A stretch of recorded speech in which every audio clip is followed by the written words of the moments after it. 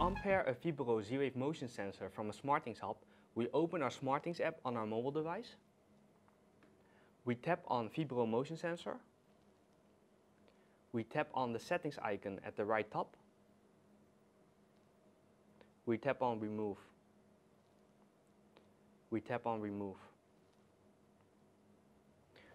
We proceed by pushing three times on the action button of the Fibaro Z-Wave sensor, resulting in the LED glowing blue.